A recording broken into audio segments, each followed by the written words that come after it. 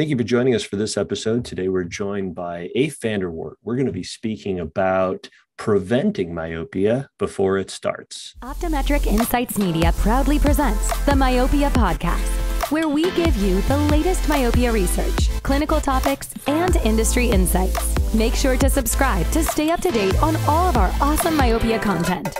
And now to our host, a massive myopia manager himself, Dr. David Kading.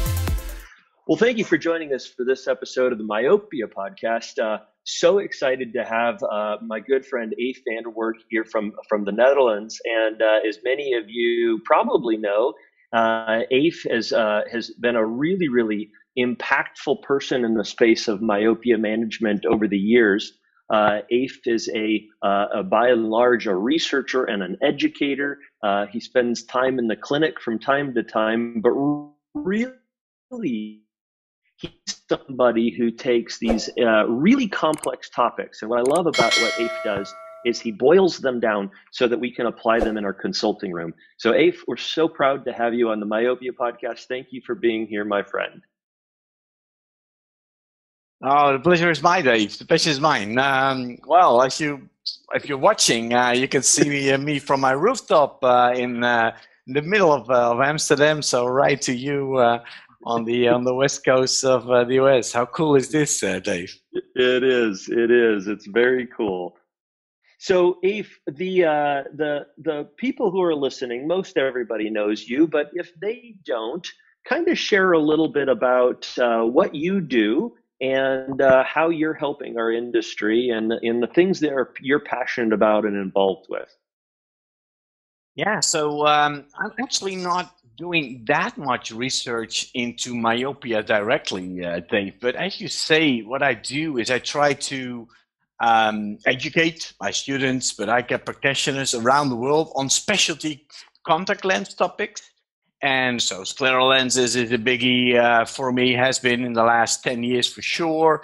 Um, um, let me look ahead. Uh, the next 10 years will be uh, specialty soft lenses. I think we talked about that actually in another episode uh, of yours yeah. Uh, for, for the Optometric Insight. Um, and um, well, ortho K and rigid lenses in general uh, has always had my passion. and in the Netherlands, my my little country here in in Western Europe, Ortho-K is extremely popular. I would guess uh, uh, one of the the highest percentages of Ortho-K, maybe in the world. Not to brag, but it's just we we have such a history of corneal lenses and corneal topography, and then Ortho-K uh, hit off uh, early 2000 or something. And um, boom, it just it went straight from corneal GPs to to Ortho-K, and in the end, it's not that different. actually, uh, it's just you're trying to do a different thing. So myopia actually brings it all together. Uh, Dave is an optometrist. Um, um, one of the other episodes we talked about, I was one of the first few uh, optometrists in the Netherlands, and of mm-hmm. course, um, optometry ties in with this whole myopia thing as well. Uh, it's, it's, retinal health, it's corneal health, um, and then it's um, it's all these specialty lens. Uh, uh, topics that we can talk about. So it always excites me Having said that, I am not the expert, but let, us try to boil it down because I follow a lot. I will read, try to read everything. And recently at the uh, Global Specialty Lens Symposium, which I'm on the committee to, um, we had a, a, nice session actually, uh, which I, I happened to chair on the ABC of myopia. And uh, mm-hmm. the, the, the, subtitle was From Atropine to Zernike aberration. So it covered all the, all the different treatments, including atropine, and then all the way to higher order aberrations, which are Zernike polynomials. Uh, Zernike, um, it's a term that a lot of people know probably in the optics field. I just wanted to throw it in, Dave. He's Dutch, actually, or he was Dutch, obviously. yeah, no, no, no, just, just, just a side mark. so I didn't know that, but he lives. Uh, he he lived well, ten minutes walk from here. Uh, I, I, looked oh. it up. Uh, actually, during COVID times, I had time to uh, to do that. I wrote a little uh, column about that. Well, but so that, in a nutshell, is what I have yeah. with uh, with myopia. You you mentioned that you're not an expert in this, and you know I think that the reality is that the more we learn about a topic, the more we realize we have a lot more to learn. And so some of the top experts in the country don't believe they are because they know how much they still have to learn to know more about it. So I think that your your passion around myopia management has driven you to really know a lot so that you can educate a lot of this. And you know, one one of the things that you've written, and uh, and tell us a little bit about your uh, your newsletters. But one of the things that you wrote about recently was the effect of COVID on myopia. And I think that we're starting to to touch on that in our practices. I'm I'm starting to see people come back in and we're starting to see people who maybe developed myopia during COVID. But tell us a little bit about number one, your newsletters, and then tell us a little bit about COVID's effect on myopia. Yeah, and, and it's it's funny you say that, Jed, because I hear more reports like that day from my care practitioners yeah, around the world really that they got a feeling that uh, myopia has been progressing faster or they see more but it, it's hard to pin down right? That's always the issue.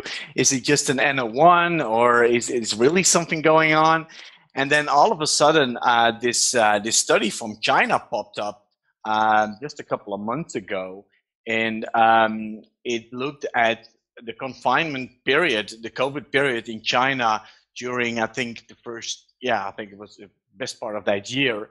And um, you know what? In six, seven, and eight year olds, indeed, there was an increase in myopia compared to uh, other years. I think they control they compared it to. So uh, they concluded that there is uh, such an effect. So we knew that, of course, if you stay more indoors, uh, less outdoor, um, then um, yeah, myopia may increase, and that's exactly what we've been uh, been seeing. So yeah, it shouldn't surprise us, but but again, it's usually hard to pin down. And this one was published in a in a peer-reviewed journal, high ranked. So uh, I guess we have to uh, believe it. And I, I got two uh, teens in the house, so of course they, they were homeschooling and everything. Uh, we didn't see them for days. They were they were locked up in their uh, in their rooms.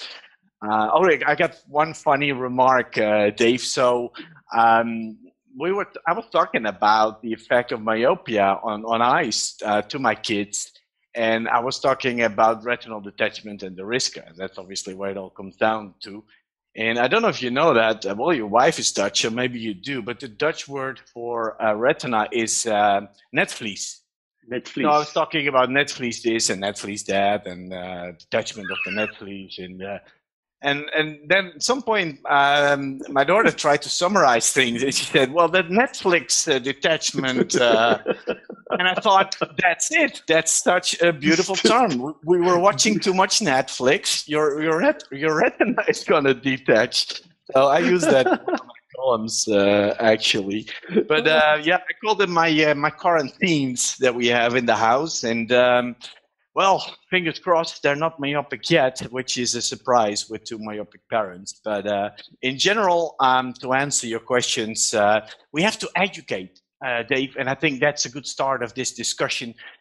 Myopia control is not selling a product. It's it's about communication. It's about building relationship with the kid and the parents and talking about what is going on. And it starts with less indoor, less near tasks, more outdoor, that kind of stuff. And then at some point, maybe down the line, we may have solutions in, in, in shapes of product, but it's the other way around. It doesn't, and that's, ah, let me play advocate of the devil a little bit, but um, I think some people in our industry, let's put this mildly, uh, are focusing just a little bit too much on the product rather than the myopia management per se. What do you what do you mean by that? What are you observing that you're saying we're focusing on the products and less on the myopia management? Is that that we need to be talking more with the patients as opposed to peddling the products, or that, what, what that, do you feel that that means? Exactly that, uh, Dave. So um, it, it just depends it's, it's almost like in what country you were born and that's how you grow up and that's what you believe right? And and that's your world. So i know people at uh, the, the university hospital here uh, ophthalmology and all they live and breathe is is atropine. And there's nothing wrong with atropine but the optical solutions are sort of on the sideline. Um, if you look at some of the contact lens, um, um, um well, meetings uh, that we go to, all we hear is contact lenses, contact lenses, contact lenses. Well, myopia management is not about contact lenses. It's it's about much more.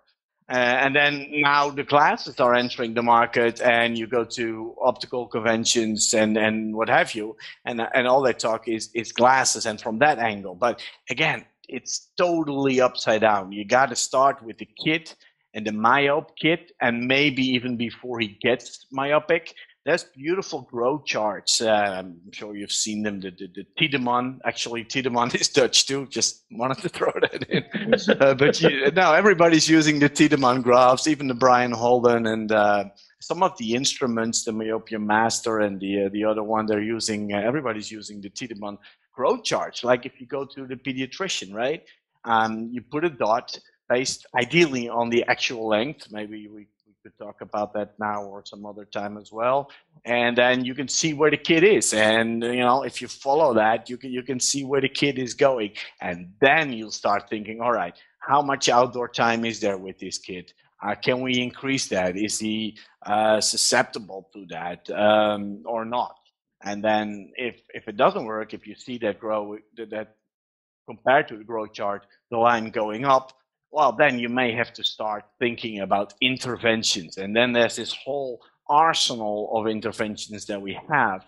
So that would be my my my route to take, and not say, mm-hmm. well, we got a product. Let's see if we can uh, we can sell that, basically.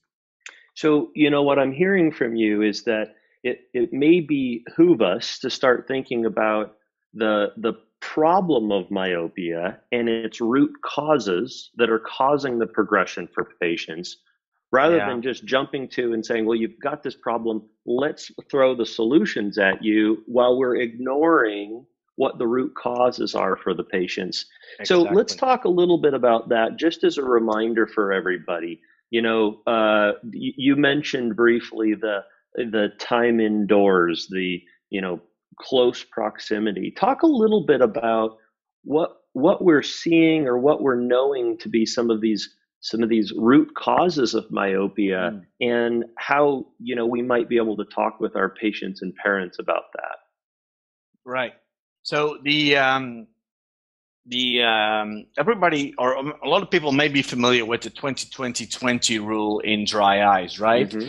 Well, the people here at um, the Erasmus University in Rotterdam, they adapted that uh, to the 2022 rule. And um, if you're not familiar with that, it's about 20 minutes uh, outdoor. Um, uh, let me see if I say that right. it's two hours outdoor, that's the two.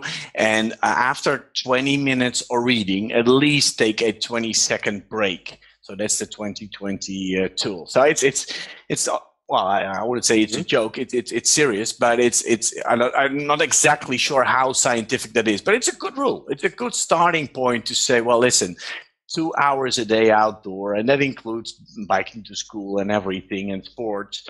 But you need that, and then um, not too much reading time um, in one go. So take breaks, and also the distance is important. So don't keep it too close. I'm sure you've seen kids at airports or restaurants, very young kids holding iPhones or uh, iPads very close to their eyes. Um, the, the, TV, for instance, is less of an issue, and even a computer screen for sure is less of an issue than holding something at uh, well, I, am in centimeters here, but 20 or 30 centimeters, but but very close by. So that, those are the important things. And uh, people are blaming the cell phone or the digital devices.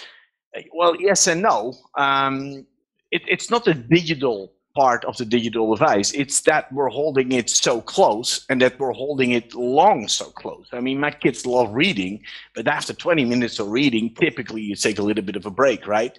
But Netflix, you can watch for an hour at, at 20 centimeter, for instance, or something like that. I'm exaggerating a little bit, but uh, so yes, it's a digital device, but it's not, I think, the digital part of that device. It's not electronics per se. It's it's near work. Mm-hmm. And you know, we, we we also know that there's an aspect, and we think about this in the dry eye space, so to speak, is that with digital devices we don't blink as often, and that could become a problem with with the digital aspect. But in the myopia aspect, it's the distance and it's the prolonged periods that we're doing certain activities. I think we can look to several studies that date way back of where uh, where you know we introduce uh, you know uh, the, the the the Western society of of television and reading and all that certain to, to certain subgroups of people and we see progression of myopia. Or I think there's there's a great study on individuals who spend a lot of time in a submarine like uh, it was certain military and those people became more myopic because the fact that they couldn't relax and they couldn't look further away. So those studies are out there with regards to that. Well what about what about the outdoor time, this two hours that uh, you mentioned? Uh, why why are we thinking two hours outdoors? Is it is it just looking far away? Could somebody get as much benefit from just being in a gymnasium and looking far away for two hours? Mm, like I said, I'm not the expert here, but what I read and what I hear, it's it's certainly giving your eyes a break. So looking in distance. Mm-hmm and there is something with outdoor light. Uh, we can't yeah. really pin it down, but there is something with outdoor light. It is. It may have to do with the dopamine production on the retinal level, but again, that's getting for me already too technical almost. But um, it's got to do something with that. So there are experiments now with with being if you do uh, classrooms that are completely made of glass, would that have a positive effect? They're, they're trying that in, in China, um, things like that. But that's mm-hmm. outdoor light, but you're still indoors. So what it, it may, may be coming down back to optics, which is really our thing. And that's why I love myopia so much. Higher order aberrations play, play such an important role. But even the wavelength of light Duh, yeah. that's our that's our thing, right? Um, the wavelength of the exact light, the violet light to be exact, may play uh, an important role. But I'm I'm getting off my track here, uh, Dave, because again I'm not the expert. But it may be a certain wavelength that may be good for the eye and may tell the retina basically to not grow backwards or uh, just stay where it is because it's it's it's quite amazing right? We all start as hyperopes and then some well as soon as we approach the age of six we're we're, we're well we're still a little bit of hyperope but then after six we, we certainly enter the emmetropic age and then something happens or not. We stay there which is the normal optical um, um, well back information thing that tells the retina to stay where it is. And oftentimes even in myop you see it does stay there the retina stays there and then all of a sudden boom it starts to grow in a backward direction. So that is a crucial time but that's at early age. So and i think at early age we can already tell if a kid is not hyperopic we could probably tell it will be myopic later in life yeah, but that's that's where you can start, and that's where you can start talking to to uh, well to kids, but uh, obviously to parents or, or caregivers about uh, about this whole thing, telling mm-hmm. that whole story. Yeah, you know, I think a holistic approach. There's the the study that we we kind of get this two hours from. I think that's a study um, out of Australia that really showed that it, that kids who spent two hours outside uh, did not develop myopia as earlier. And there's other studies that look at you know the spectrum of the seasons and different parts of the world seasons mean different things but mm-hmm. more myopia happens in the winter seasons and is it because uh, of the wavelengths of light is it the fact that we're not spending as much time outside what may it be but you know oftentimes uh, those of us who live in rainy climates uh, we don't go outside at all during the winter time, right? Um, and uh, and it's so critical for us to really advocate for getting outside, uh, not just for the relaxation, but as you point out, uh, may, maybe it's the dopamine, maybe it's the vitamin D. We're not really sure, but the studies are are already pointing us that the direction of two hours is so critical. So I, I completely agree with you, and I think it's it's more than just anecdotal evidence that we think this, right? We've got the studies correct. to back it up. We just need to now implement it. Yeah, yeah. correct. Absolutely. And uh, I, I, we just don't know everything about it. It's ah, it's it's a, and and for me, it's it's a bit of a confusing modality, to be honest, uh, uh, Dave. At one end, we're hearing so much, including from the companies, uh, about myopia, but there's courses about it. Um, the BCLA started the myopia program. Um, BCLA is the British Contact Lens Society, etc., uh, etc. Et so there's especially myopia clinics. So um, that spurs the enthusiasm, I guess, for eye care practitioners. But on the other hand, there's so much we don't know. And um, there's this, well, famous paper by uh, Noel Brennan and, and others, Common Health Beliefs About Myopia that lack robust, uh, robust evidence based. So he's he really looks at every piece of evidence we think we have and then he's, he's there's some myths there that he's, uh, he's, he's, he's debunking, I think. Um, so yeah, we for one thing, we don't know the exact mechanism behind the, the myopia management effect. So if we talk about contact lenses and glasses, we know probably the peripheral retina has something to do with it, but we don't know exactly what it is. And same with atropine we don't know what the exact mechanism is that that causes uh, myopia to slow down, which is a bit weird, I guess. But mm-hmm. at the mm-hmm. same time, it does work. So let's stick mm-hmm. to the mm-hmm. facts. And it's the same with outdoor. There's so many questions there. But in the end of the day, uh, Dave, um, I got two kids. You know, they got to go outside because I know it works. And there's uh, there's this beautiful book. Um, it's a few years ago, and he also has a TED talk. And I'm trying to, from the top of my head, to say his name right because he's a good friend of mine. Nick Despotidis, I think is his name, but it's Nick Dr. Yeah, that's him. Thank you, um, Dr. D. We uh, we typically call him, and his patients too.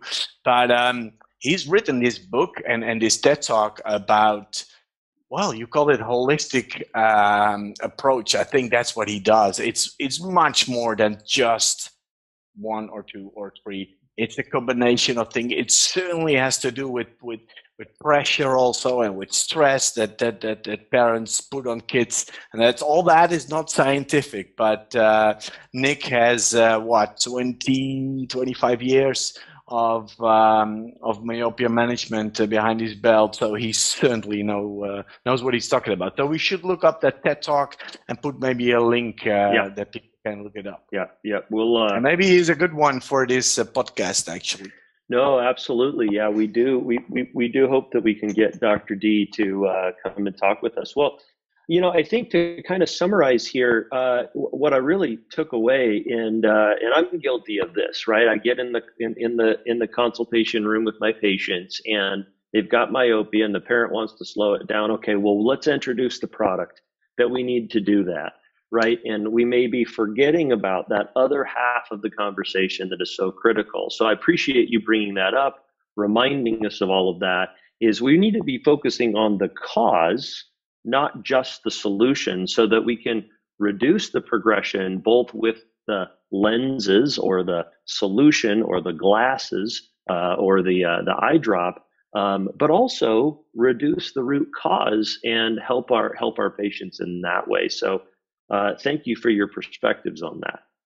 Yeah, and, and uh, I mean, preventive medicine is, is, is, is taking off worldwide, I'm sure. Um, and it, I think this is part of it. When you talk about sugar in, in, in drink and, and uh, you know, diabetes and everything, this is part of that. We, we got to start looking at how can we prevent this uh, epidemic, uh, like, like some are calling it. And um, the, the, the, tricky part is, and, and, again, this makes it such a confusing uh, modality. Um, you're really talking about a myopia mortgage almost, right? I mean, we're talking about trying to reduce myopia now, and but we don't see the problems until 40 years from now in, in those in those same kids. If you're 10 years, you're probably not until my age that you mm-hmm. start seeing uh, the problems. So um, it's hard to talk about it and say, well, listen, in 50 years you may have a problem. Why don't we do this or that? Or why don't you go more outdoor? They're like, duh. Um, so uh, it's it's it's not an easy modality, but I'm looking at at you know the if we have to believe the research and, and let's do that why not i mean we have no other choice but uh, the chances of um, retinopathy uh, is reducing significantly uh, apparently with every diopter increase no matter at what level so uh, the other thing is that some eye care practitioners think all right i'll start worrying if the kid is minus six well, obviously that's too late. You got to prevent them from from being minus six. But even again, if I have to listen to the experts who know what they're talking about, an increase from minus two to minus four, every diopter, no matter at well what level, has that increase in in risk at the end of the well, not the end of the day, but the end of the life, mm-hmm. basically. Mm-hmm. So. Mm-hmm. But, yeah, we got to talk uh, about it now, and it is something that uh, is a worry in the long run. And if you have a parent with, with minus 10 who had retinal problems themselves, you don't have to explain things, right? Then it's easy, right. and they're already coming themselves. But it's the other ones uh, where that's not the case that we have to uh, start talking about it. So let's, yeah, I like that. Let's do that. Yeah, yeah. Well, thank you very much. I appreciate you joining us for this episode of the Myopia podcast. Uh, Eef, it's uh, always a pleasure speaking with you. Uh, and please stay tuned uh, for future episodes where we're going to uh, talk more in depth with uh, with Eef and with others about lenses and solutions, multifocal orthokeratology, axial length. we've got other exciting topics coming up. Uh, please like and subscribe, and uh, we'll see you on the next show. This podcast was brought to you by Optometric Insights Media. If you enjoy our content, please leave a five star review and don't forget to subscribe for more great episodes.